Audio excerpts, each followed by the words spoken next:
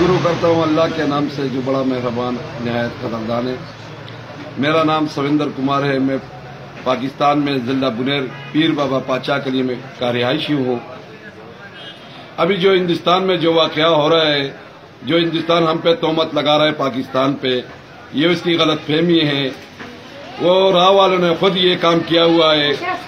اس اسی وجہ سے وہ ہم پہ یہ تومت لگا رہا ہے کہ بھئی ہمارے آدمی مر گئے ہیں، فوجی پہ خودکش ہوا ہے یا جو کچھ بھی ہوا ہے۔ پاکستان ایسا ملک نہیں ہے، پاکستان میں ہم سکھ کمیونٹی یہاں رہتے ہیں۔ کئی صدیوں سے ہم رہ رہے ہیں یہاں۔ ایسا کوئی مسئلہ، کوئی دشواری ہمیں کوئی تکلیف نہیں پہنچی ہمیں ان لوگوں نے۔ تو دوسرے ملکوں کو کیا پہنچائیں گے؟ جب چور ہوتا ہے تو اپنے گھر کا چور وہ گھر سے پہلے چوری کرتا ہے۔ جب بدماش ہوتا ہے یا کوئی لٹہرا ہوتا ہے تو وہ اپنے گھر میں پہلے ہی کرتا ہے، پھر بعد میں دوسروں گھروں کو جاتا ہے۔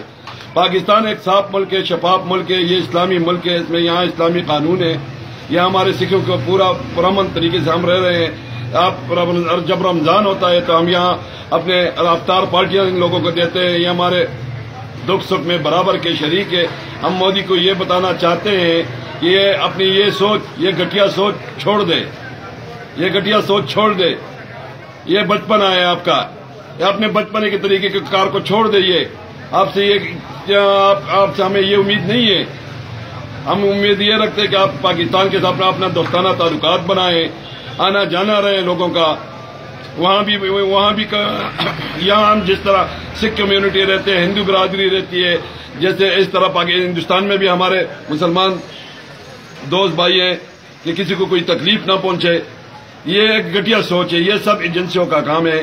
برائے مہربانی آپ ایسا کیجیے کہ یہ مسئلہ آپ بھائی چارے کے ساتھ حل کیجیے، اپنے چیف آف آرمی کو کہہ دیجیے کہ ایسے ایسا کام نہ کرے۔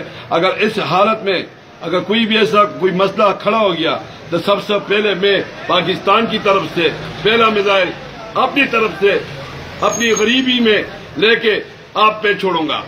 زندہ باد زندہ باد، زندہ